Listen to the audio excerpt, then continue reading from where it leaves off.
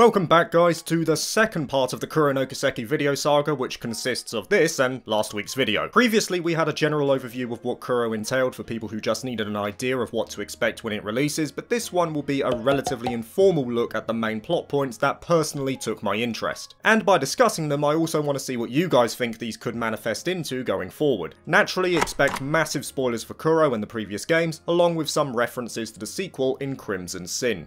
So the first thing I want to talk about briefly is the desertification that is taking place in the Far East. Now this phenomena we've known about for a while. It was made clear in Cold Steel 3 when Rean is sent that letter by Yun Ka-fai where he stated his investigations had clued him in that it was largely down to the depletion of the Dragon Veins or Septian Veins as we commonly know them. And it's because of the desertification of the Far East that Calvard has its wide berth of immigration, which in of itself has had some historical issues that we have already seen in past arcs. In Kuro we don't see too much mention of it, but we know that Hamilton the last of the three disciples, had gone to the east to find solutions, but other than that, not much else has been said. I don't know if the desertification is a red herring in this story, but I personally feel it will have some significance going forward, and I'm interested to hear what others think here. Now the next point of discussion that took my eye was our Osborne replacement. Yeah, that's what I see him as at the moment in Roy Gramhardt. Now old Roy is the recently inaugurated president of the Calvard Republic, highly popular among the people and also the father of Agnes Claudel. Again, we don't see too much of Roy, but he definitely is going to be a big player in this arc, you could feel it. Of course, his debut was in Reverie, he first pulled a power play saying that if the heroes of Zemuria couldn't stop the Babel Tower, then he would take matters into his own hands. But in addition, with the help of Marduk, who are also worth discussing in of themselves, but I'll keep it under wraps for now as I'm not too certain on their role, he was able to break into the Celestial Globe and contact the Grand Master directly, something which even enforcers require Campanella to navigate to. However, in this exchange, we got a brief glimpse of what Gramhardt is attempting, as him and the Grand Master reach an agreement for the next two and a half years to not interfere with each of their plans. Ouroboros have their Eternal Recurrence plans, which forms the final part of the Orpheus final plan, while Gramhardt is pursuing research relating to other possible worlds. Now, in terms of his motivations, I can harbour a guess and say it might be related to the death of his wife as that's where Agnes believes his behaviour changed, but I think it's a bit more than that. In Kuro, we have seen that he ran initiatives that strengthened the military of Calvard as well, ultimately making it the new undisputed superpower of the continent, so who knows. I'd like to think we'll get more on him in Crimson Sin.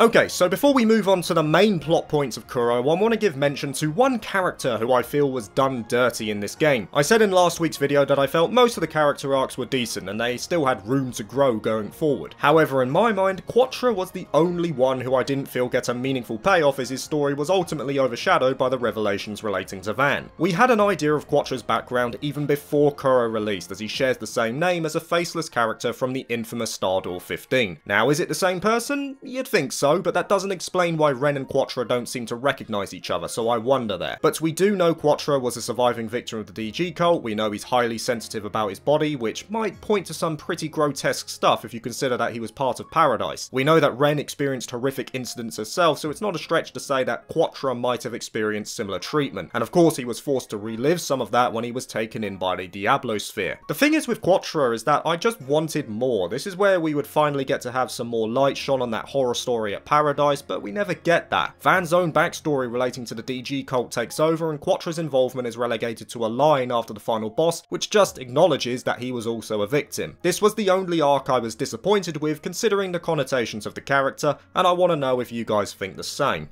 Anyway, next topic of discussion relates to the Oct Genesis, which is pretty much the central plot point of the entirety of Kuro. Agnes comes to Van with the first one, and together they attempt to find the seven other prototypes. By the end of the game, they're only missing one, and each of them have notable supernatural effects that are also far-ranging. We see that in each chapter. Now, the main thing with the Oct Genesis is that they're tied to the father of the Orbital Revolution in C. Epstein, who in his letter that Agnes holds, states that the world will end unless all Oct Genesis are recovered by 120XSC. Now, we can only assume this is related to one or both of the plans that we mentioned earlier pertaining to Gramhardt and Ouroboros, and then it must have some sort of link to a Sept-Terrion. I imagine the Sept-Terrion of Time if I were to hazard a guess. Van had an idea of where the final Genesis was, he said so when he resolved to lock himself away, but I'm interested to see where this plot point goes, especially considering what we've already seen of the Oct Genesis. Add on to that the connection to the much discussed Epstein, and you can only wonder where this will lead. The next point on my list somewhat relates to the Oct Genesis, but only in regards to the parts of the group we're attempting to take them back from, that being the Garden. Once again, we've known about the Garden since way back in Cold Steel 4, if you've read the in-game novels 3 and 9, and it was touched on even more with the release of Reverie, where we witnessed one of the Wardens in action. Now of course, we know that this was not the real Emperor, as he was killed within the novel, and what we witnessed was simply a simulacrum created by the Singularity Elysium. In Kuro, we see the final three Wardens, but also learn of how the Garden came to be. The much maligned Oathbreaker, current Anguis of Ouroboros, took it upon himself to merge the remnants of the DG cult that were wiped out by Cassius Bright and co, and his old stomping ground in the Order of the Moonlight Horse, which had been mostly wiped out by Ouroboros themselves, with the likes of Sharon, Elroy, and Lucrezia joining the society. By the end of Kuro, we know that basically all of the Wardens are gone, or at least the ones that we know of. We understand that there were four, and all four are out of commission by Kuro's climax, but this doesn't make any mention of the assassins that operated under each division. Are there still remainders that lurk around? And in light of that, we already know of 3 and 9 who escaped the Warden of Swords back before Reverie, and I'm gonna say a spoiler here for the next game, Swin looks to be returning if recent images are to be believed. What do you think? Are the Garden gone for good, or do they have a further role to play?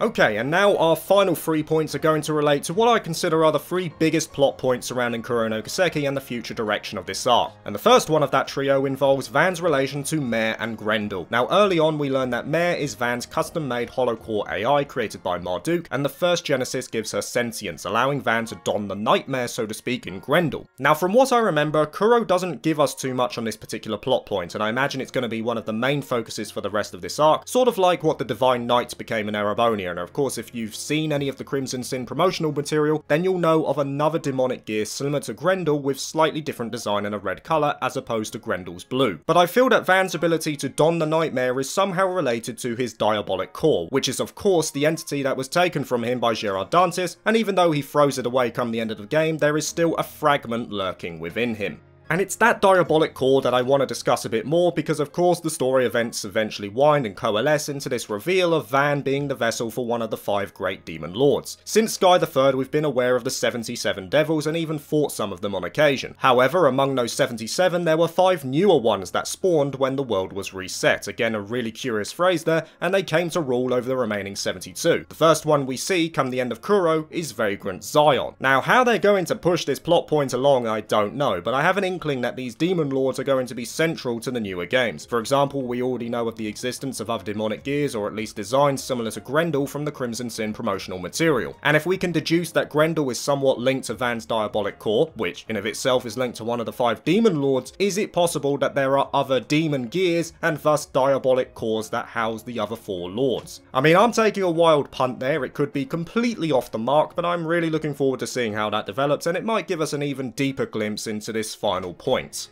and that relates to the so-called truth of the world. We see this concept pop up near the end of the game in Pandemonium during our fight with Gerard Dantes, and it's super interesting because up till now we know very little about the truth of Zemuria and there have been minor nods in previous games regarding events that occur outside of the understanding of what we currently know, things that can't be explained by the laws that make up this world. Examples of that are say the existence of McBurn in his true form who came from the outside, the Salt Pale instance of Northumbria, the weapons that McBurn and Louvet used that were forged by so-called divergent laws. Then you consider the role of the DG cult who were obsessed with disproving the existence of the goddess to the point that they experimented with Pleroma grass to create Gnosis, which in its final form, as McBurner stated in Cold Steel 4, allowed them to break free from the shackles put on them by the goddess. Think of Joachim for example and all the things he mentions when he transforms. It's quite clear that many of these phenomena are just not possible to comprehend for many people who live within the bounds of this world, and we once again see credence paid to that when Mare is explaining details to the Solutions Office, but some of her lines are notably blurred out, and the group are aware of this and think that maybe they're simply not able to comprehend what Mare is saying, as if they lack the intrinsic understanding of the concept she's talking about. Kuro is now pushing that envelope more when you consider the role of the likes of Gramhardt in his pursuit of the truth of possible worlds, that in of itself was supported by Vagrant Zion, and in a way, we have seen the existence of multiple worlds already if you think back to Reverie, or at least the possibility that they could exist. Elysium was able to create an outcome that that shouldn't have been. Naturally, we followed the story after the true ending of Cold Steel 4 where Rean survived and the Sept-Terrions of Fire and Earth were used to bring about a miracle. However, in Reverie, we see the manifestation of Rean from the normal ending, the one where he sacrificed himself to end Ishmelga and ultimately ended up merging with it to become Ishmelga Rean. Then you consider other lines from Dante, such as when he's about to pass on, he states that he knows Gehenna doesn't exist. That line again is really intriguing to me because the only time we've seen Gehenna was during the events of Sky the Third due to Kevin Kevin's